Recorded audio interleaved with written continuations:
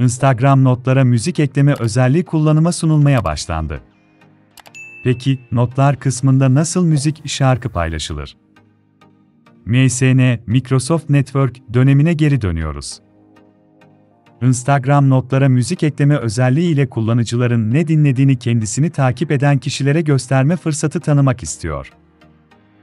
Instagram'ın da bağlı olduğu çatı şirket Meta'nın CEO'su Mark Zuckerberg, yeni özelliği Instagram'daki yayın kanalında duyurdu. Notlar özelliği, kullanıcılara birkaç aydan beri kısa yazılar, emojiler ve şarkı sözleri paylaşabilecekleri bir alan sunuyor. Arkadaşlarınız ve sizi takip eden sosyal medya kullanıcıları, direkt mesajlar kısmından paylaştığınız notları görebiliyor. Instagram'da şu anda bile ne dinlediğinizi belirten bir not paylaşabilirsiniz ama yeni gelecek özellik, basit bir yazıdan çok daha fazlasını size sağlayacak. Yeni özellik, 30 saniyelik bir kesit paylaşmanızı mümkün kılacak. Bu paylaşılan müzikler, 24 saatin sonunda kendini otomatik olarak imha edecek ama süre dolmadan kendiniz de notu silmeyi tercih edebilirsiniz. Instagram'a göre yeni özellik kullanıma sunulmaya başlandı ancak herkesin kullanıma sunulması biraz zaman alabilir.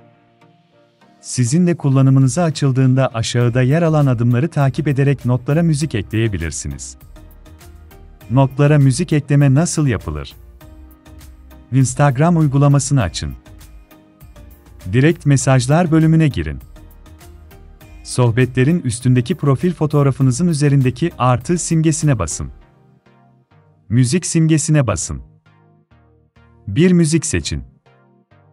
Müziğin hangi kısmının yayınlanmasını istiyorsanız o aralığı belirleyin. Müzikle birlikte dilerseniz bir yazı paylaşın.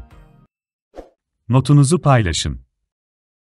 Bu adımları uyguladıktan sonra notlar kısmında istediğiniz bir müzik ya da şarkıyı paylaşabileceksiniz.